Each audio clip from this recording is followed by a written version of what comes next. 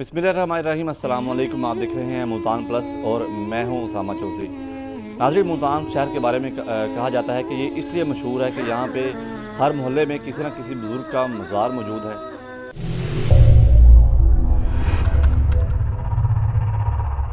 लेकिन यहाँ मज़ारात के साथ साथ मसाजिद की भी एक बहुत बड़ी तादाद मौजूद है, जो किसी भी लिहाज से तारीख़ी अहमियत की हामिल हैं। इस तरह आज हम मुल्तान की एक मस्जिद में मौजूद हैं, जिसका नाम सावी मस्जिद है।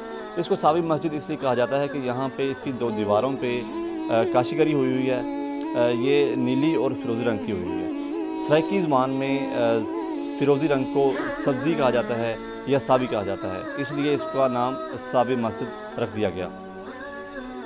इस मस्जिद की ख़ास बात यह है कि नॉर्मली जिस तरह हमारी मस्जिदों में कुरानी आयात को खुला किया जाता है या लिखा जाता है दीवारों के ऊपर। वो तो लिखी गई हैं, लेकिन इसकी दीवारों पर फ़ारसी शायरी के कुछ अशार भी लिखे गए हैं जो अबू सईद अल खैरी के नाम से कोई शायर हैं फ़ारसी के। उनके शेर यहाँ पे मस्जिद की दीवारों पे खुंदा है। नाजरीन इब्तदाई तौर पर क्योंकि ये मस्जिद बतौर ईदगाह तमीर की गई थी इसलिए इसकी छत नहीं थी सिर्फ़ इसका एक हाथा था और इसकी दीवारों पर काशीगरी की गई थी।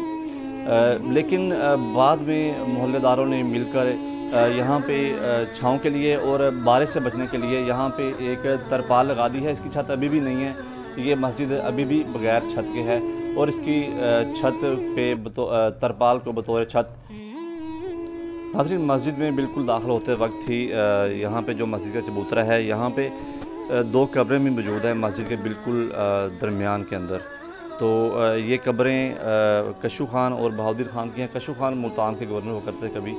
और कहा यह जाता है कि जब इनको दफन किया गया तो इन दोनों की खालें भी जिसम से उतार दी गई थी और खालें उतारने के बाद इनकी इनको, इन कब्रों में दफन किया गया।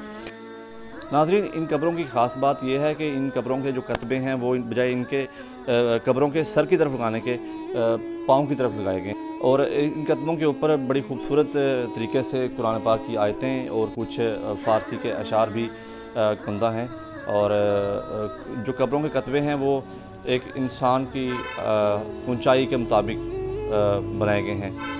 ये मस्जिद इसलिए भी इस ख़ास अहमियत की हामिल है कि जब इस मस्जिद को बनाया गया तो इसकी कोई भी गुंबद नहीं बनाए गए बल्कि इसकी दीवारों में महराबें बनाई गई, जिनकी तादाद 20 है और बड़ी खूबसूरती से उनके अंदर काशीगरी बनाई गई। मेरे अकब भी आप देख सकते हैं किस तरह से नीली और फिरोज़ी रंग की काशीगरी जो मुल्तान की एक निशानी है, वो